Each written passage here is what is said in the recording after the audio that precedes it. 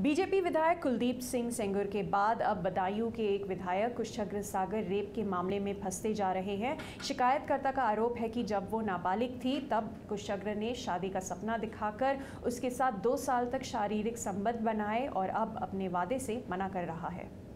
उत्तर प्रदेश में बीजेपी के एक और विधायक पर बलात्कार का आरोप लगा है। बदायूं की एक महिला ने बिसौली से बीजेपी विधायक कुशाग्र सागर पर रेप का आरोप लगाते हुए पुलिस में शिकायत दर्ज कराई है।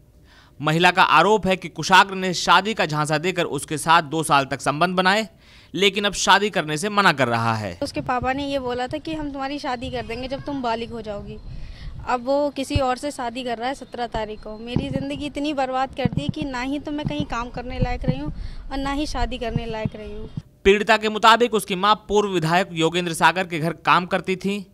तब वो भी अपनी माँ के साथ योगेंद्र सागर के घर जाती थी। इसी दौरान कुशाग्र ने उसे शादी का झांसा देकर बहला लिया और शारीरिक संबंध बनाता रहा। लेकिन विधायक बनने के बाद वो अपने वादे से मुकर गया है। मेरी मम्मी उनका काम करती थी तो मैं अपनी मम्मी के साथ वहाँ जाती थी।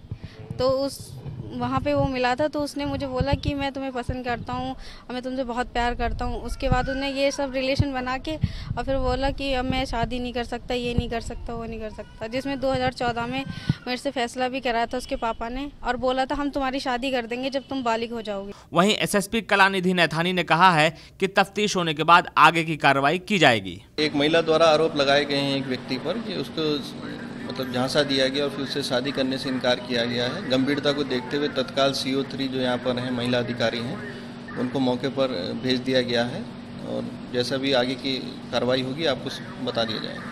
पीड़िता का आरोप है कि बीजेपी विधायक कुशाग्र सागर ने उसकी ज़िंदगी खराब कर दी है। उसके लिए कहीं काम करना भी मुश्किल हो रहा है और वो अब अपने साथ इंसाफ चाहती है।